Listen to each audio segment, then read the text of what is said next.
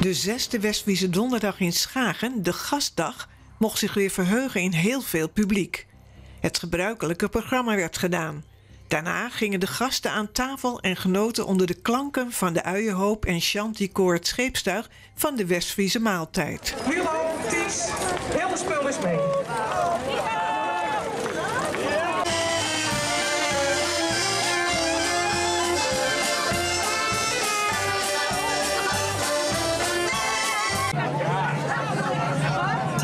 Out of the way.